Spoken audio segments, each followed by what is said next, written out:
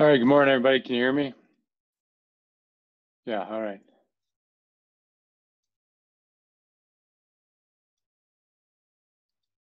Admit a few people here.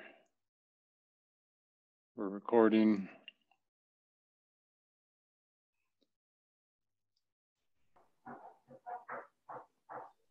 All right, any questions before we begin?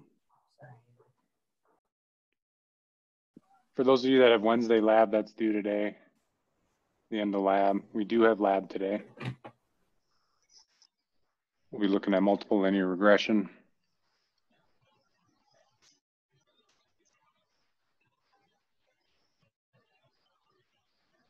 All right, let's get started.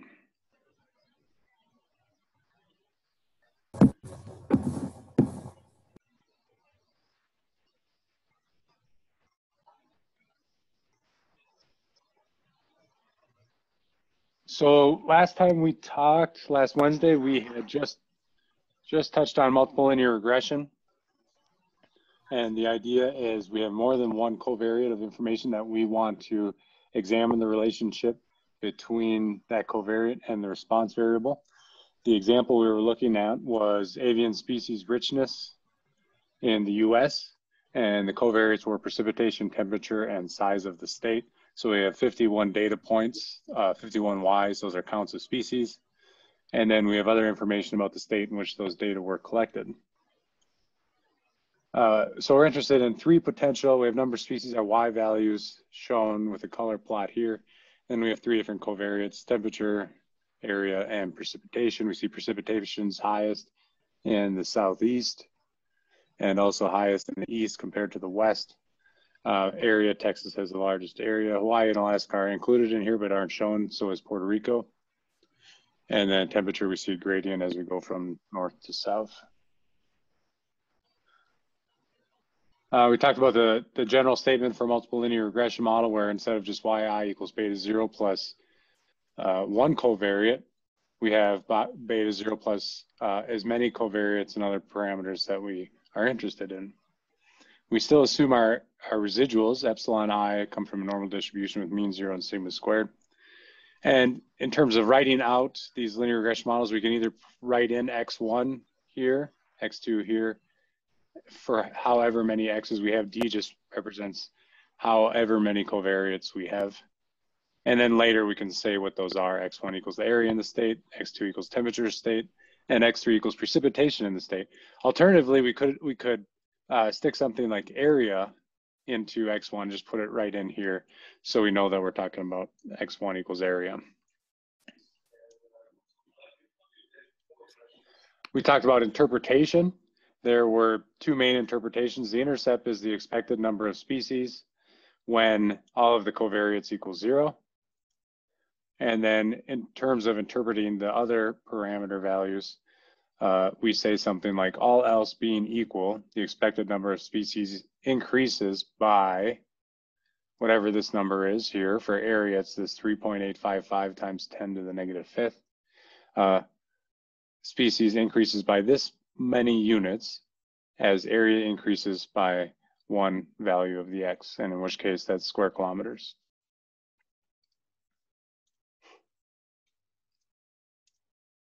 And we say the same thing for the other, uh, the other interpretations basically follow the same idea. All right, so here's about where we left out. Left out. We know what our general model statement is. I can write that.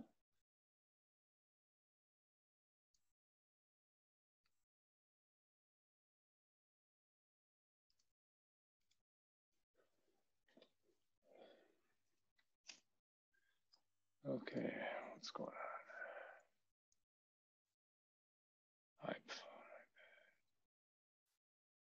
Oh, here we go.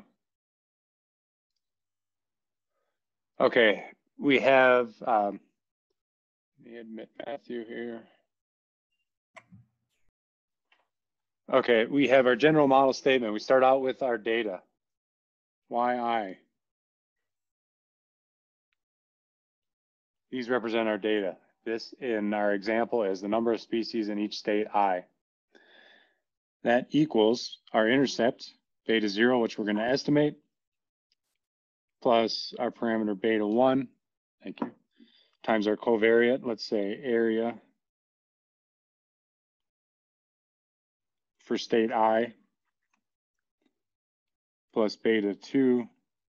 Uh, we can do uh, temperature.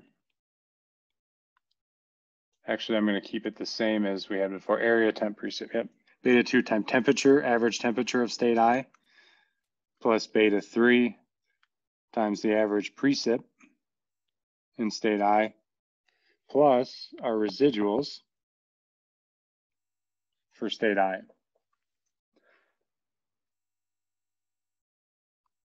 What this looks like, we can say what these two look like. It's a plane where we have a x1 value for area and x2 value for temperature.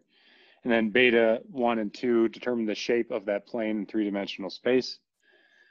Uh, and then beta 0 is where the uh, plane crosses all values of x, where x equals 0. However, when we get more than two covariates, we can't, our minds can't really process what that actually looks like. It's like some type of hypercube or something. Um, so, but the idea is still the same and the interpretation is still the same. So we can say that uh, as precipitation increases by one unit, the number of uh, species in a state is going to increase by whatever this value beta 3 is. And beta 3 is estimated using R. Okay. Now that's conditional on these values staying the same, meaning we're not, we're only changing one variable at a time. All right, and then to finish out our general model statement, we say EI comes from a normal distribution with mean zero and variance sigma squared, and we're gonna estimate uh, sigma squared. So in our model, what we're trying to estimate are these values.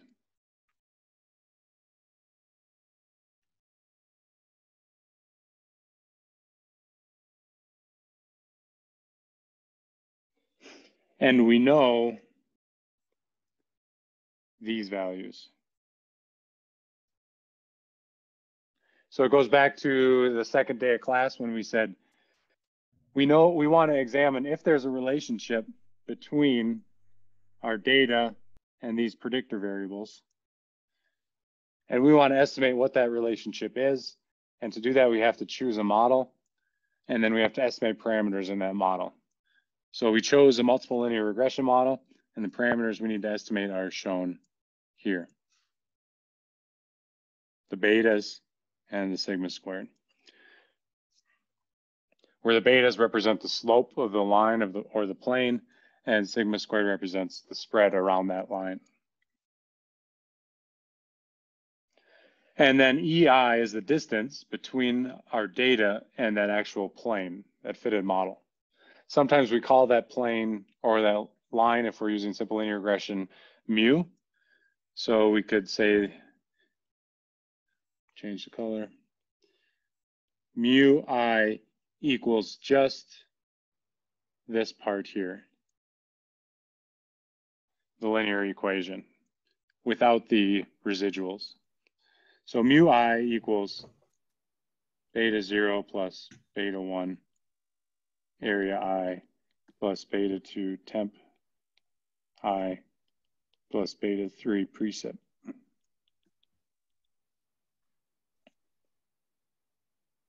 And just as a, a reminder, we can rewrite this uh, using this mu i instead and just say, so this is way one to write this, way two to write this is yi equals mu i plus epsilon i, or epsilon i comes from a normal distribution with mean zero and variance sigma squared, and mu i equals this thing here.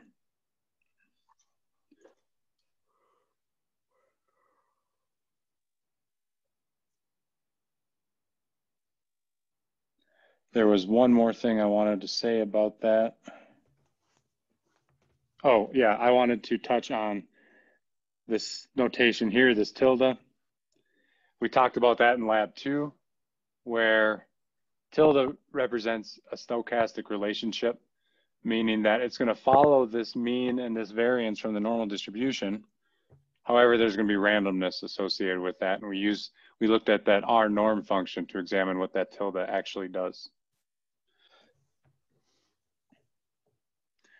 So to talk about this in terms of data, we say that if we were to count the number of species, yi, yi, on average, they would equal this function here, this mu i, but there's going to be some randomness around that, and that random values come from this stochastic distribution that's described by a normal distribution with mean zero and variance sigma squared. So these are going to be, these residuals are going to be centered around zero, but the spread of those is going to be described by sigma squared. All right, any questions on that? Let me take a second here. Pause for questions. That is simple and multiple linear regression. That is the, the uh, most basic and most wide used tool in all of statistics. And that's how we interpret it. And you can use this not only for wildlife, but in health fields, uh, psychology fields, economics, predicting stock markets, uh, anything. whenever we're whenever we're interested in quantifying a, a linear relationship and quantifying something about the uncertainty. We can use simple and multiple linear regression.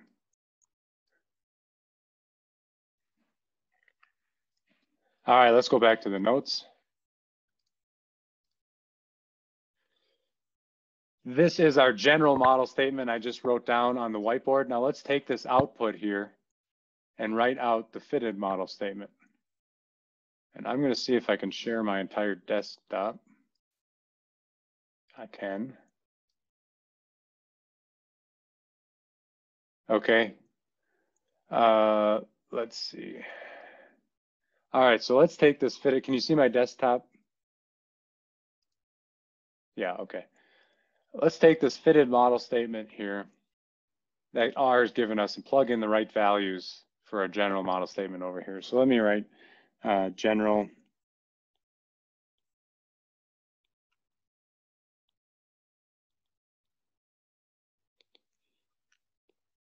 And then next we'll talk about the fitted model statement.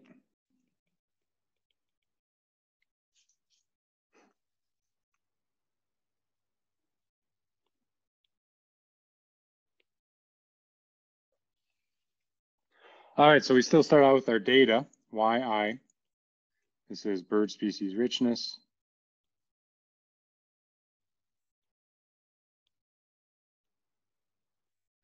This equals, uh, beta zero is given for us.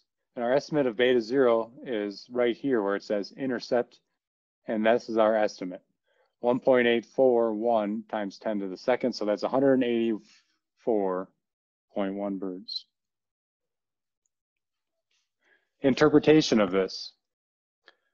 When our covariates equals zero, that is when area equals zero, temp equals zero, and precip equals zero, there are on average 184 bird species in the state. This doesn't make a whole lot of sense in the way uh, we formatted the problem because how can an area of a state equal zero? Unless we do what we did back with the elk example and subtract off the minimum value for, in the case of elk, it was years. And in the case of birds, it would be um, the minimum area of the state. And then if we do that, subtract off the area of the minimum state, it's going to be the, the interpretation of beta zero is going to be the minimum, the expected number of birds when area equals whatever the area of the minimum state is. So that's how we can modify our data, data slightly by just subtracting off a value from our x's um, so that the intercept becomes more interpretable.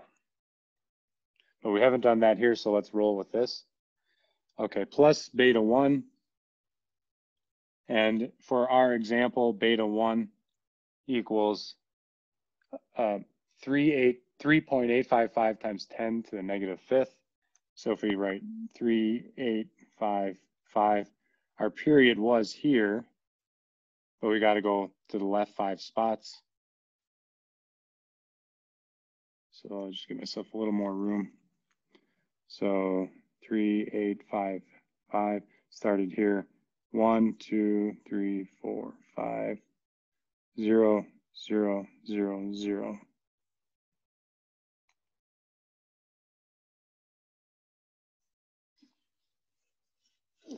Times uh, area.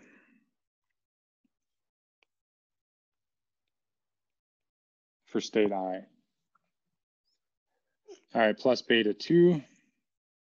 And beta 2 in this uh, example is 4.095.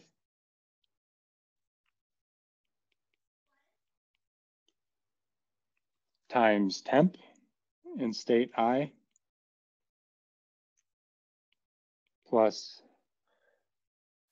beta 3, which is um, negative 2.45 times precip in state I. All right. There, and then we have our epsilons come from a normal distribution. The mean's always going to be zero. And sigma squared is shown right here. It's 45.51.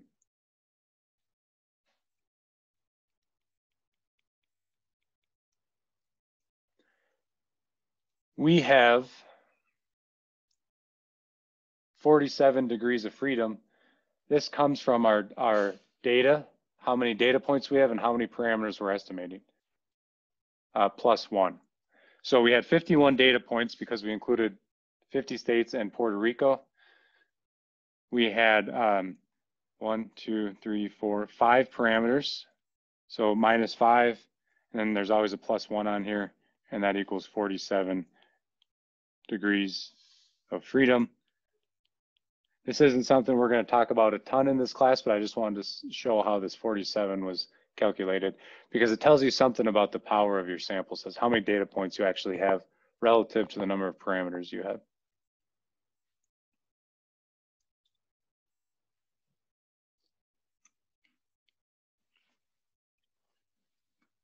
What was that five value again? Five is how many parameters we had. Yeah, thanks for reminding me. Um, how many parameters we have. How did I get that? Well, here's one parameter, that's beta zero. Here's two, that's beta one. Here's three, that's beta three. And here's four, that's beta four. And then sigma, sigma is, is five. So it's all of our betas plus our sigma.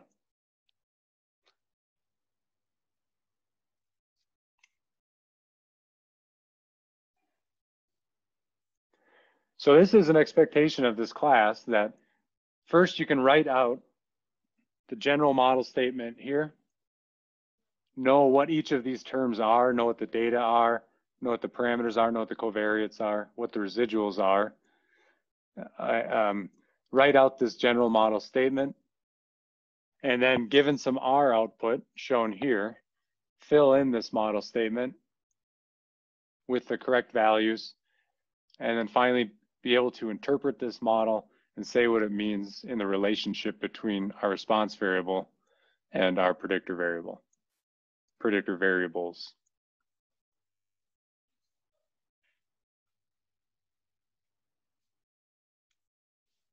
Okay. Are there any questions?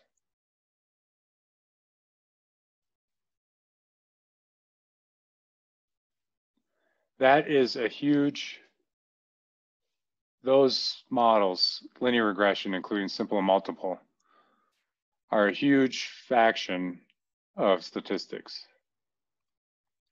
And that's one of our main tools in wildlife. In future lectures, we're going to extend these again to account for different data types and make them more realistic for wildlife data. The other thing you'll need to know too are the assumptions of this model. So we talked about that. There were three of them. Independence of the data. Homoscedasticity, meaning the variance doesn't increase as you increase the x values. And then uh, that the errors are normal and have mean zero. All right, so in terms of our assumption, assumptions,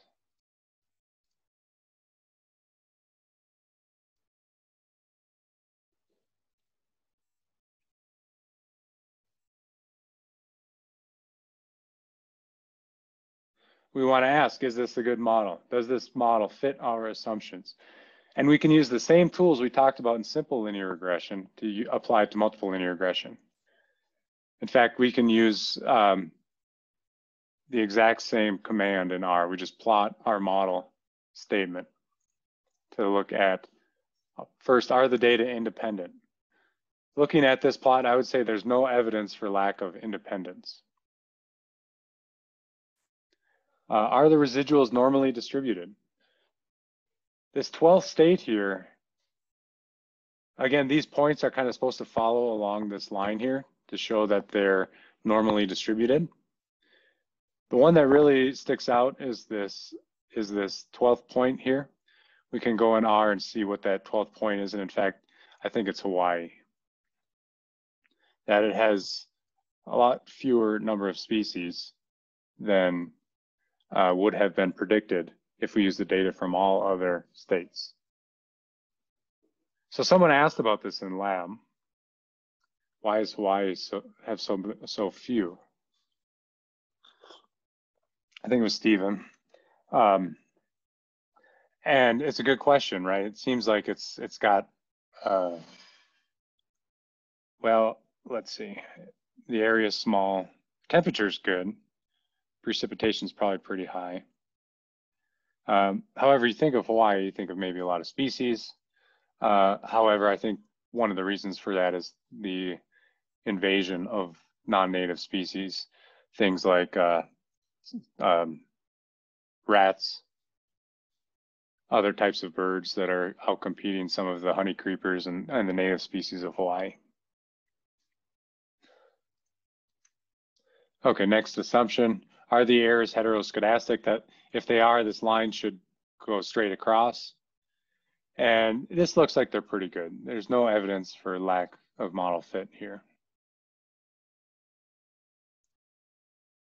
Okay, the last uh, learning objective in this lecture was, let's take this idea of multiple linear regression and write out a mathematical function for our mu that gives us a little more flexibility than just a straight line or a straight plane, uh, if in the case of one and two variables. So one thing we've talked about in the past, or one thing you've maybe seen in the past, is looking at um, polynomials in a math class. Let's see. Polynomials in a math class where we would write something like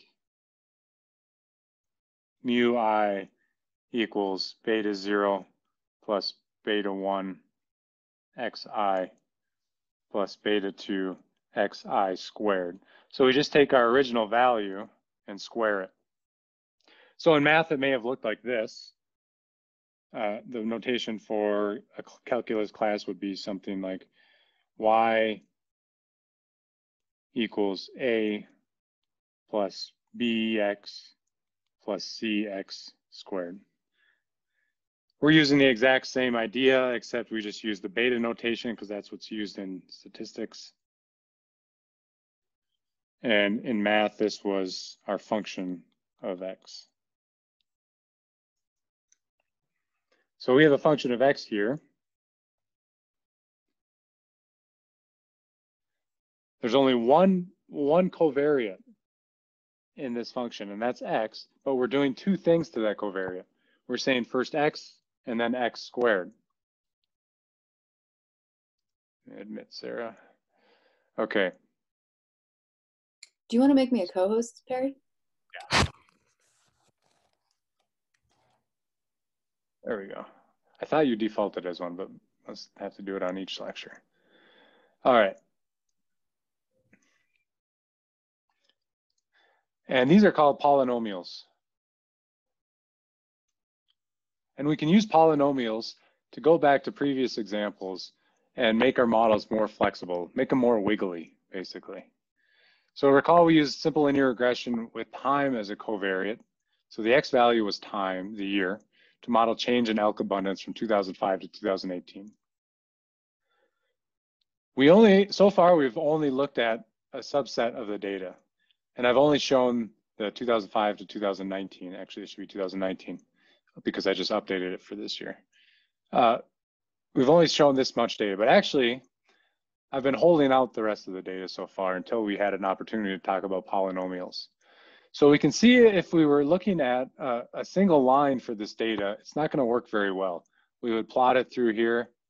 We would have uh, errors that are not independent because they have this time series that goes up, down, up, or down, then up, then down, and then maybe start to go back up again.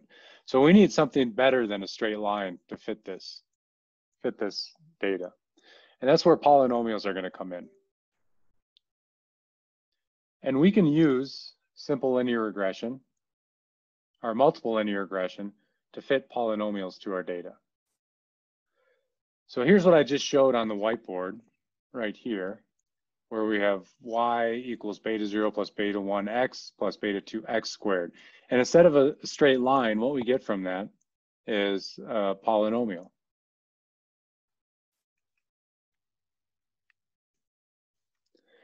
The shape and location of this line is going to depend on our intercept and then the slopes for x and x squared. If we have a intercept that is 3000, that means the, the peak of this polynomial is going to be right at 3000. And then the shape of the parameters for x and x squared, if they're negative, it's going to be upside down.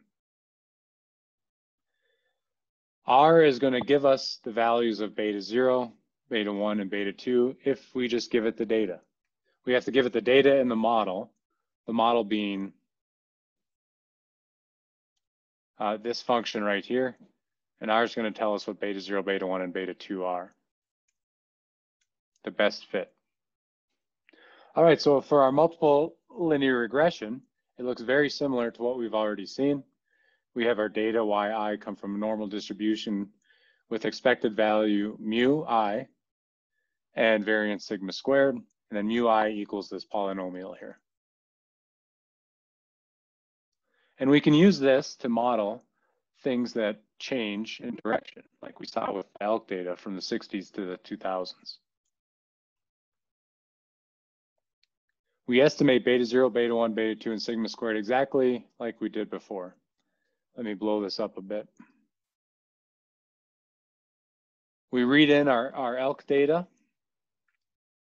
we tell it what our YR, our, our response variable is, and that's our counts of elk. We tell it what our X is. This year, it's the year minus 1959. And then the only new thing we do is we say X2 equals X squared. So X is already defined right here, but now we're gonna say, we'll just take this X and raise it to the second power, and that's gonna give us X squared. And then we use the exact same LM function we used in simple and multiple linear regression, where we have y tilde x plus x2, and that's going to give us the values of our parameters. Beta 0 is 1487, beta 1 is 869.618, and beta 2 is negative 14.842. Our sigma value is 2677. If we recall before, when we just had 2005 data to 2019 data, our sigma values was was something like 3004 around that area. So our sigma value actually went down, even though we added a lot more data. And then everything else proceeds the same as we've already talked about.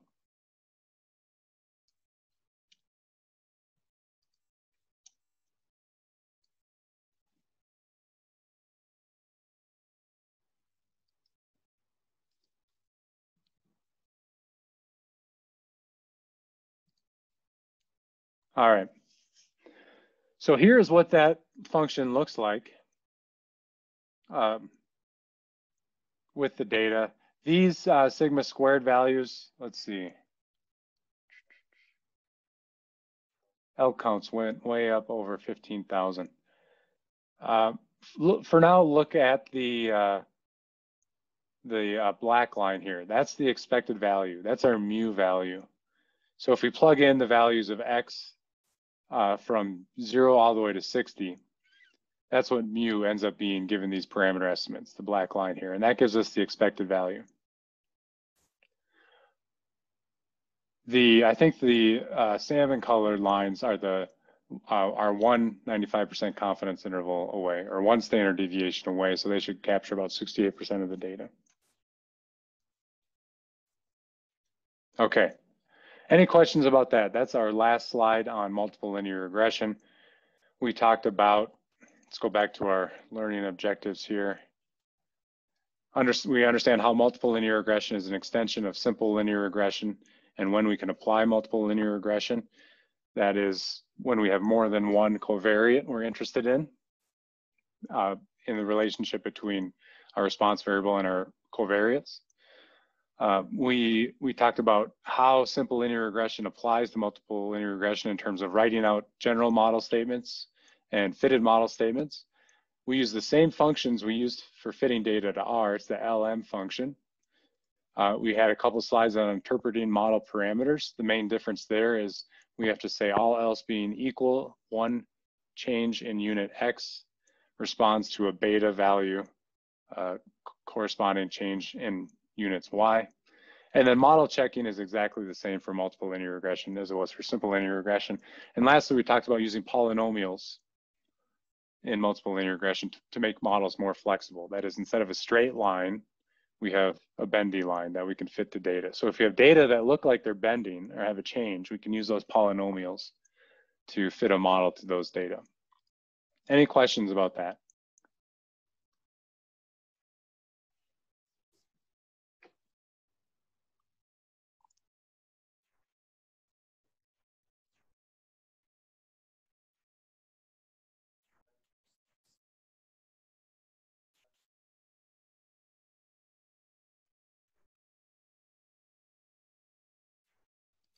Okay, uh, I'm going to move on to uh, lecture five then.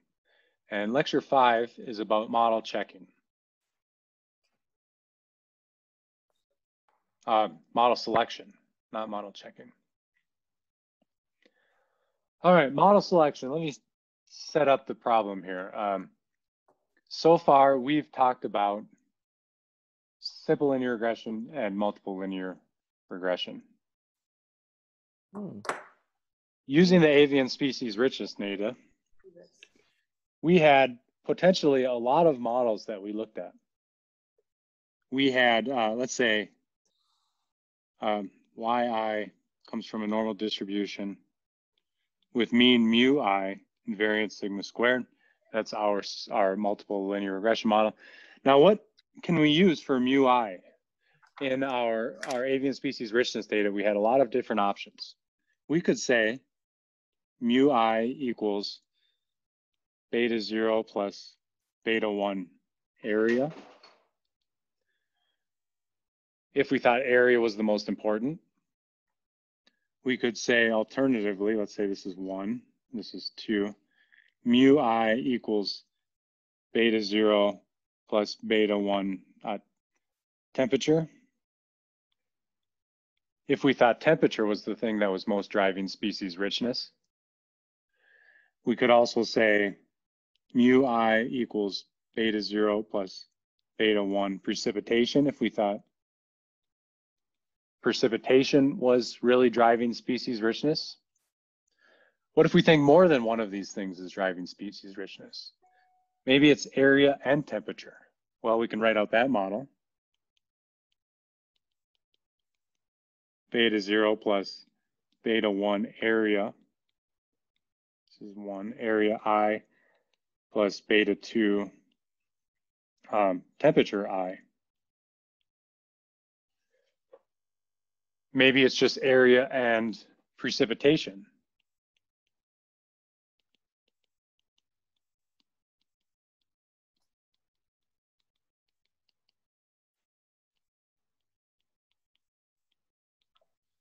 Maybe it's um, temperature and precipitation.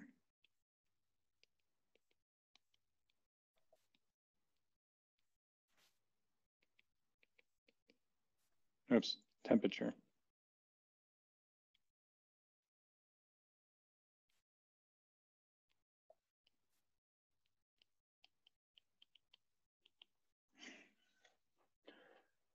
And we and in this last one, we don't think area is so important. Well, what we're trying to do is develop something over here that gives us a predictive ability for estimating what the mean in every state should be. So for example, if we did not have data on Alaska, can we plug in what the average precipitation, what the average um, temperature and the average area are into our model after we've gotten our parameter estimates and try and make a prediction on how many birds there should be in Alaska? Or can we use this model to look at Canadian provinces? So if we know what the precipitation temperature or area is in, in um, Northwest Territories, can we plug in our parameters here and try and get out what the expected number of bird species are? Can we use our model to try and predict a future response variable? And what we want to do is choose the model, whichever one of these are, that's going to give us the best predictive ability. So let's just finish writing this out. There are um, two more possible combinations that we could write out. Our seventh model could be mu i equals beta 0 plus beta 1 area plus beta 2 temp plus beta 3 uh, precip.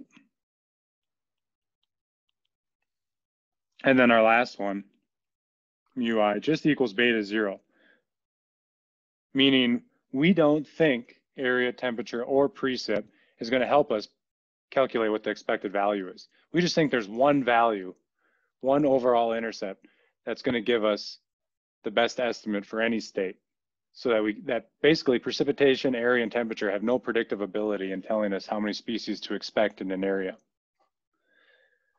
So we've developed eight potential models here, and we want to find one to make inference. And that's what model selection is, helping us choose the best model for predicting what our response variable is going to be in an area where we don't have data.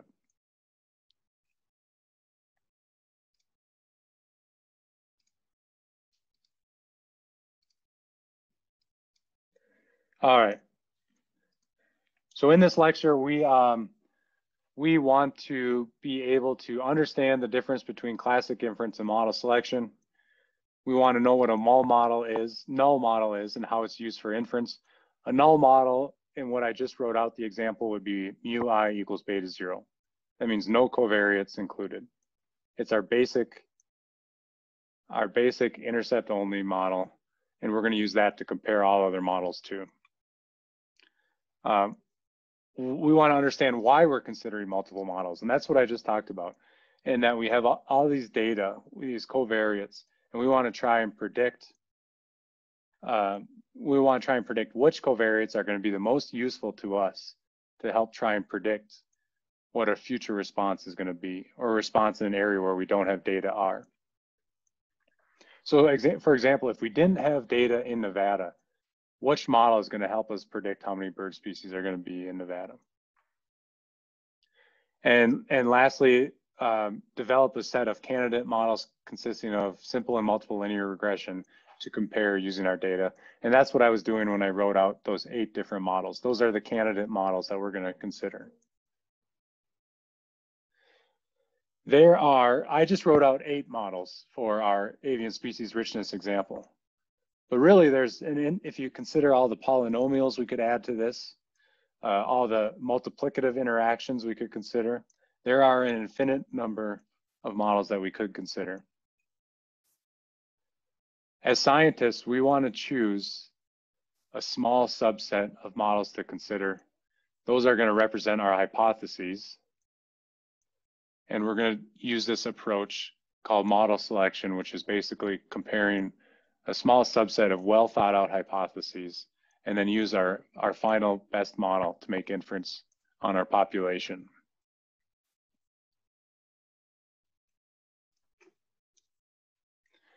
All of these models are wrong, but some of them are useful. And this is a paradigm that's a little different uh, than in the way we do statistics now compared to way, the way we did statistics in Ronald Fisher's time in the 20s, 30s, 40s and 50s. George E.P. Box was married to Ronald Fisher's daughter. So there's a bit of statistical trivia. Okay, let's look at an example. And we kind of already covered this example briefly as we open this lecture. We have our avian species richness in the US. We have three different covariates we're considering. Here's our actual data, our Ys. Here's our temp, area, and precip. These are really just numbers on an Excel table, but they're shown out in two dimensions so we can see what they look like. Um, and the biological question we're interested in, are there correlations between avian species richness and the covariates temperature, area, and precipitation? So if we know something about temperature, area, and precipitation in an area, can we try and predict avian species richness?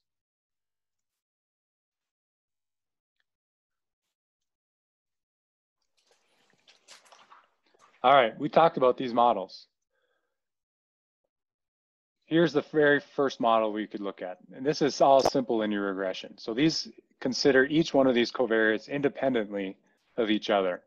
We only have one covariate in our model, and the first one, x1 equals area, and our second model, x1 equals temperature, and our third model, x1 equals precipitation. And then we have our simple linear regression model shown here. And then we talk about multiple linear regression where we could have, we can consider all of these things simultaneously. So now we're putting area, temp, and precip in our model at the same time. Is it impossible to get a 100% recovery? Mm -hmm. We could only consider two of these at any one time, area and temperature, area and precip, okay. and temperature and precip. Repeat it and then dissolve the impurities. And then we have a null model Purple, excuse me. Let me go to speaker view just for a second. Only four are Okay. All right. So now we have uh, our null model, and we talked about this, and this is a new concept today. A null model is an intercept only model. It means we have other data, our covariates, that can help us try and predict which species richness is, but maybe those things aren't really that important. Maybe all we need to know is the average.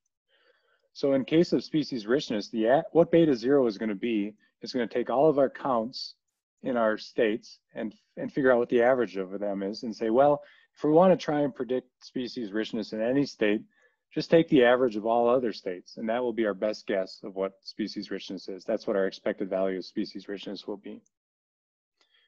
But we still have our same uh, our model statement here. And this is called our, our null model, and our null model is actually simpler than simple linear regression because there's no covariate in here. So then the question is, we have all of these different models, uh, eight of them so far. These are the ones I wrote out earlier, but now they're written out a little cleaner so we can see what they are.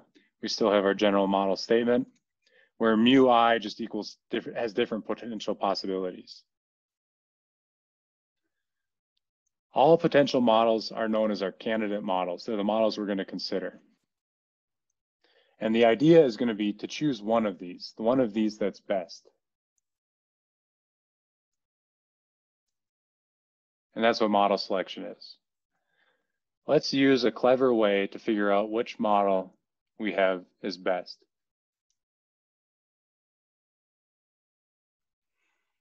Okay, so uh, Ronald Fisher published this paper, actually this book, on the mathematical foundation of theoretical statistics in 1922. Uh, and as part of this book, he talked about first choosing which model you were going to use, then estimating the model parameters. Uh, he used he estimated them using um, likelihood. Likelihood is an approach that he developed. I think when he was like 19, and it's a method we still use widely in statistics today. And then estimate how precise our models are, what the standard deviation, our parameters are, what the standard deviation or standard error of those parameters are. And as part of Fisher's um, uh, three aspects of valid inference, he assumed that model structure is known and that we assume these, whatever model we use here, that that is actually the true model, the true mechanism that generated the data that we saw. So it would work very well for when we did our simulations. But as we mentioned before with this quote at the beginning by George E.P. Box was that we're not going to assume anything, any model is true. But we're just going to use it as a tool to represent a good approximation of reality and to try and help us predict what species richness would be. And then once we make a prediction, we can make management inference based on that. So if the National Forest Service is trying to uh, decide on where to put money into purchasing land, where can they purchase land that's going to give them the increased number of species as an example. So that's a tool. We're not going to assume the simple linear regression model that we use is true in that there was some true model generating the data, but just that it is a good approximation of reality. So the question here is, do we ever have a true model? And the answer is no. Ecology is really complex. There are so many things we can't approximate. So let's just incorporate that uncertainty. Um, there were three people that really changed the statistics in wildlife ecology. Uh, and they're based in Colorado State. They've been in various places throughout their career, Utah State, uh, Los Alamos National Research Lab in, in New Mexico as part of defense. But these are uh, David Anderson, Ken Burnham, and Gary White. Ken Burnham's a statistician in the middle. He came up with a lot of these methods, actually borrowed these methods from, from statistics. They were already developed in statistics, then he applied them to wildlife. David Anderson's the champion. He's the one who pr promoted these ideas to wildlife ecologists. Um, uh, he championed them for a, most of his career and, and, wrote a book saying we should be using these.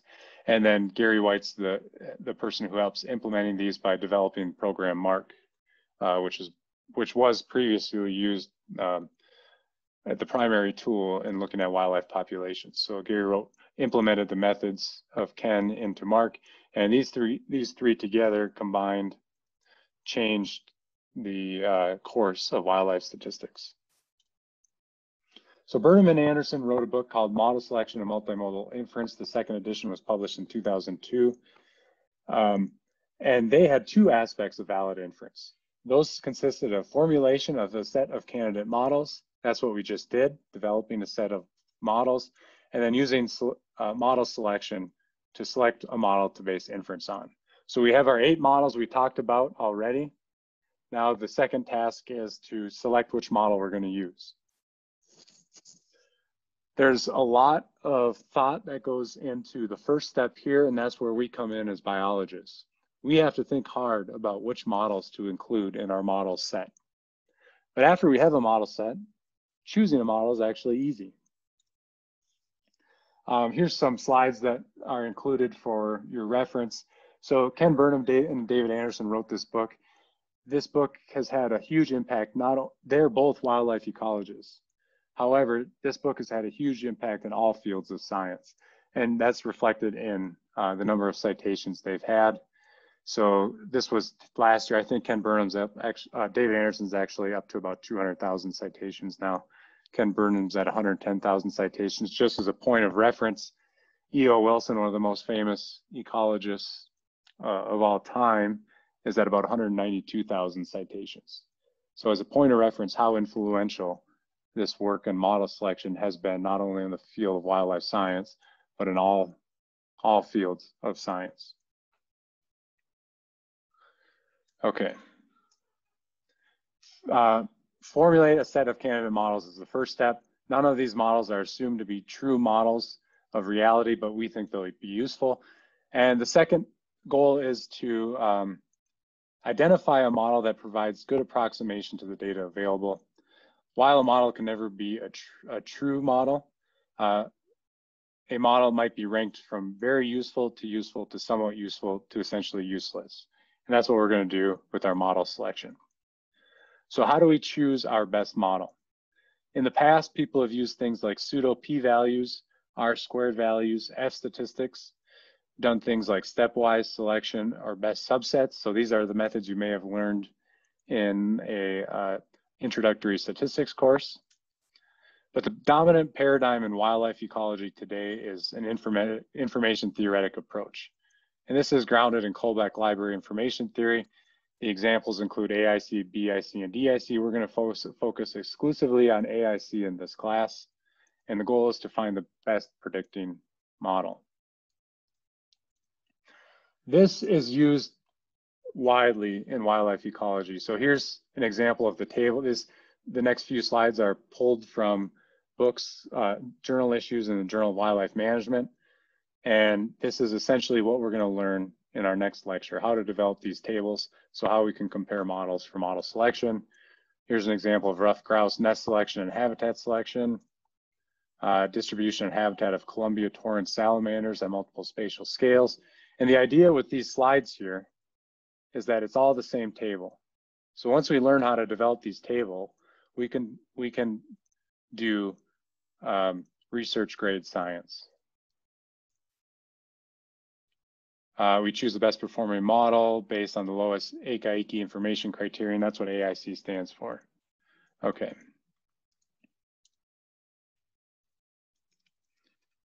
My slides say I have 23, but actually I just, uh, 31, but that's uh, some type of error. Actually, there's only 23 slides. So that's it for this lecture. Uh, and we'll pick up on actually how we're gonna do AIC on, on Monday. So I'll stick around for any questions from now and I have office hours, uh, office hours at 10 and they can just uh, officially start now if you have any questions. So thank you.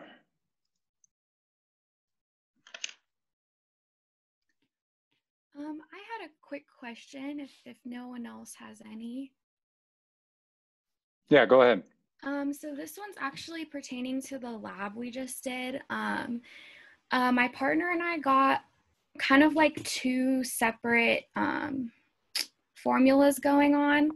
And where did it go? Sorry, I'm trying to look at it.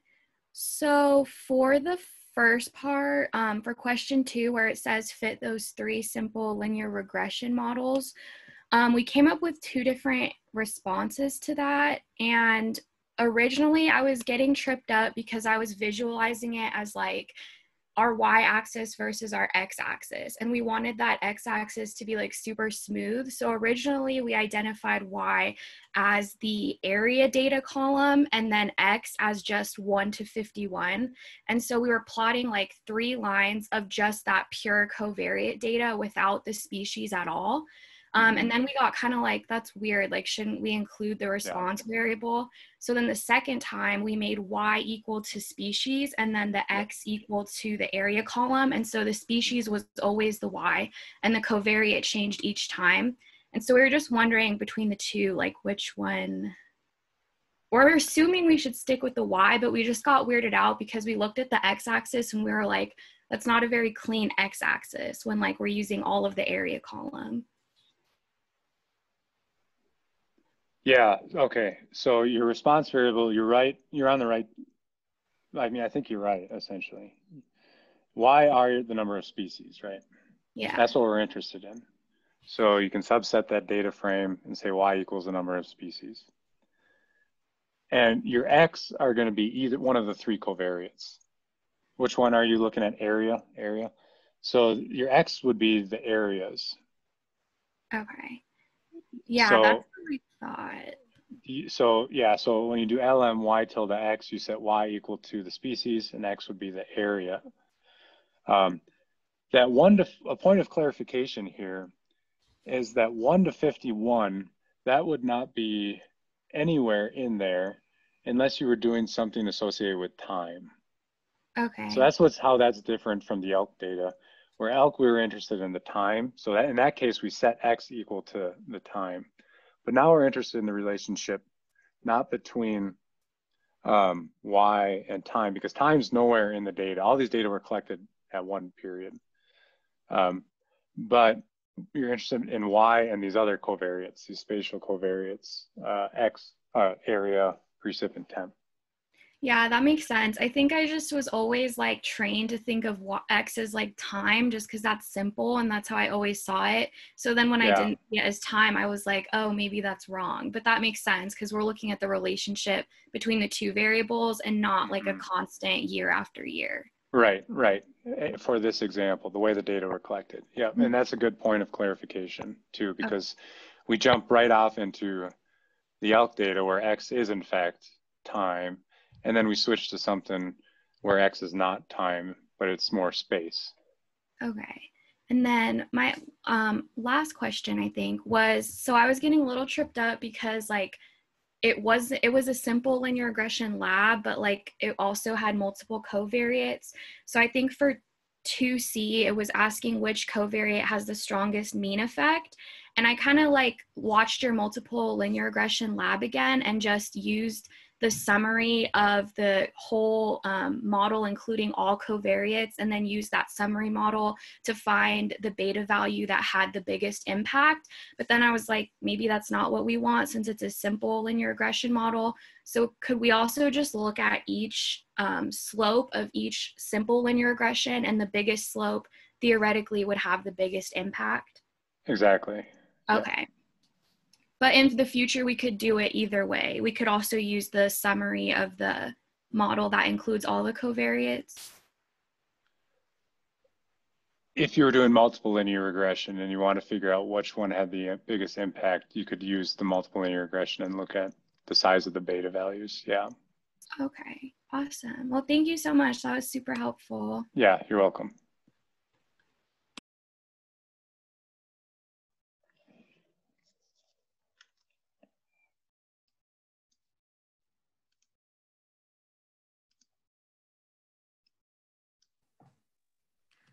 Um, I have a question. Uh, so I was working on the lab yesterday on campus and everything was running. So I emailed it to myself.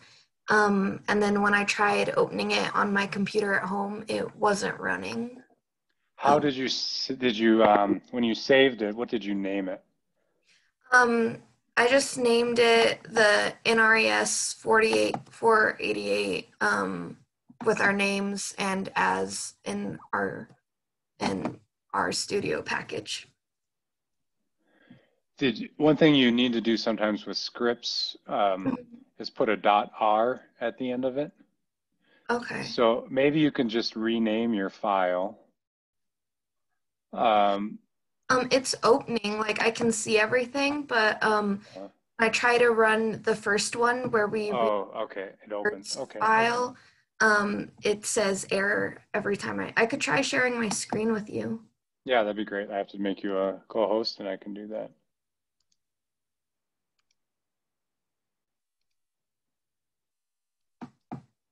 Okay, go ahead. Okay.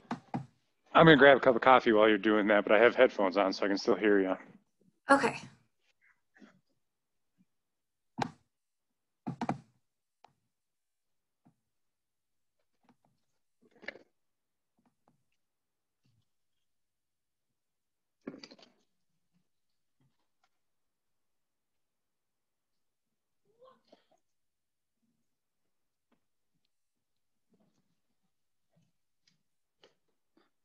Okay. So my guess, ah, yeah, I see what.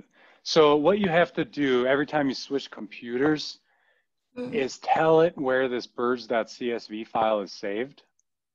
Okay. So birds.csv is like an Excel-like file saved somewhere on your computer, right? Mm-hmm. So you, you'll have to download that in a folder. When you open RStudio, it doesn't, it can't like search all paths in your computer mm-hmm. uh, by itself. You have to tell it where to look. Okay, so even though I imported it, that's not enough? Oh, so you have it imported. Go to the next. Okay, what you can do now, since you imported it, is you have the birds, um, birds file saved in your data, but mm -hmm. it's not it's not called data yet. So if you uh, go to the next line and just say capital D A T A equals birds. That should work. There you go. So now, you, so now you have birds there.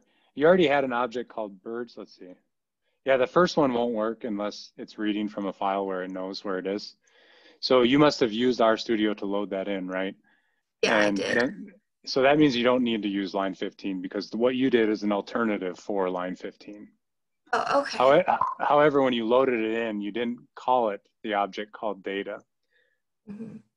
Now it's a little confusing because up here it says on your top right, right, um, your top right in the global environment, it says data and then it says birds, but that Yeah. always says data, always says data up there. So maybe data isn't the best name to call that object, um, but that's what I called it. And Okay. Um, so now everything should be the same. You can even type in data down in your console on the bottom left. And it should give you your data file. Yeah, there you Okay. go. I see it. Yeah. So now try running everything Running else everything? and see if it works. Yeah.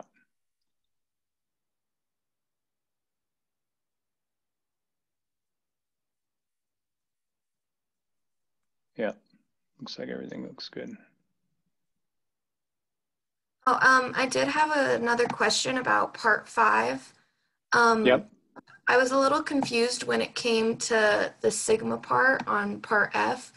Um, did is this the correct way to do it? Let's see, sample your n equals 1000 residuals from a normal distribution with mean zero and standard deviation sigma. Recall that rnorm function from lab one. Also note that R uses standard deviation, not the variance, so you will have to take the square root of sigma squared using sigma. Sigma, oh, let's see, epsilon. Sample your, uh, you're gonna use uh, the rnorm function and not the sample function Okay. sample yeah yeah um yep that's exactly right right there you got it Thank you so much. you're welcome yeah that's right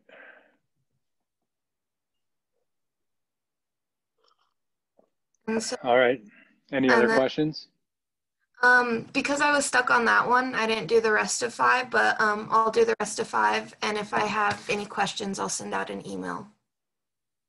okay sounds good Okay. are you in are you in lab today Yeah, I am in lab, but I um I told Julie beforehand that we were having some trouble, and she said she was free before lab, so we could um contact her if we needed to.